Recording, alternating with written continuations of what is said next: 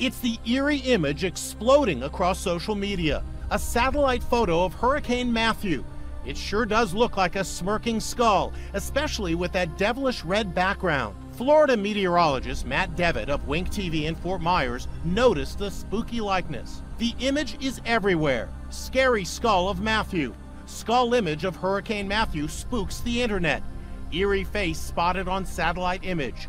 So is it real or photoshopped? It is 100% legit, authentic. I didn't change anything on it, didn't change the contrast, didn't change one single pixel. That is the way it actually appeared. Weather Channel senior meteorologist Stu Ostro was the first to post the image to Twitter. This is some really freaky, sinister looking face, which unfortunately is consistent with the hurricane being sinister because it's already been deadly and destructive. Yeah, nothing may be as scary as Hurricane Matthew when it slams into the East Coast later this week.